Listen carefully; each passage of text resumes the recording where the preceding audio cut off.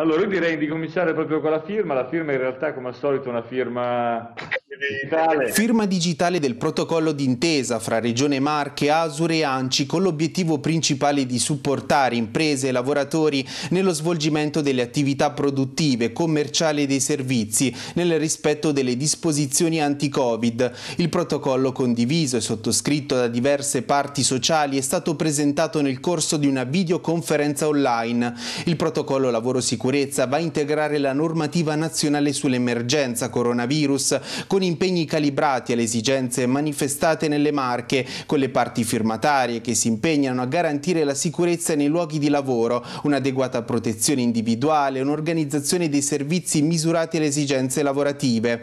La Regione Marche fornirà la mappatura del contagio anche tramite il ricorso ai test sierologici validanti, quali si prevedono come integrare anche il test pungidito. Altro punto cardine del protocollo è quello di dare un contributo alle imprese per i costi affrontati in merito alle misure di contenimento. Poi verrà approvato un piano straordinario di potenziamento degli organici ASUR dei servizi per la prevenzione e sicurezza negli ambienti di lavoro. ASUR metterà a disposizione la piattaforma web Marche Prevenzione per raccogliere le segnalazioni da verificare. Sarà accessibile ai firmatari, ha detto il direttore ASUR Nadia Storti, e raccoglierà anche i protocolli aziendali anticontagio che le imprese dovranno inviare e conterrà i risultati delle attività di vigilanza. Ancimarche invece sensibilizzerà gli enti locali sui servizi alle famiglie, promuovendo una loro rimodulazione in base alle nuove disposizioni. Soddisfatte anche le parti sociali firmatarie del protocollo a partire dalle segreterie generali